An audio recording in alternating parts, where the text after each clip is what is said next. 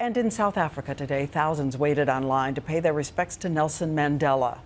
As the questions intensified about that sign language interpreter, the man who was just inches from President Obama.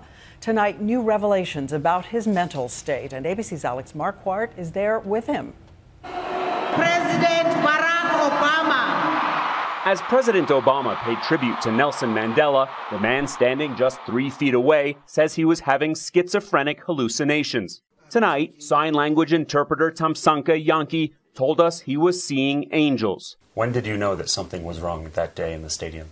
It's when I see the angel comes to the stadium. You saw angels coming down into the stadium? Yes. Jantjie said he kept going, making signs we now know weren't real words. Jantjie admits he's suffered many schizophrenic attacks over the years.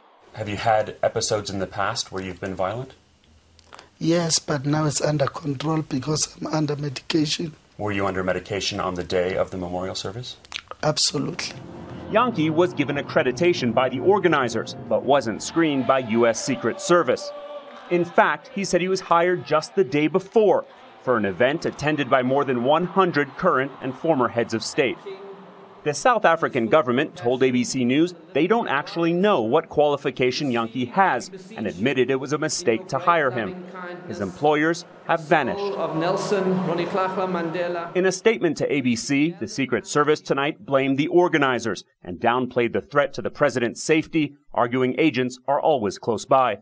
Given that you are disabled, that you have these attacks, that you were seeing angels that day, do you think you should have been on that stage with those presidents?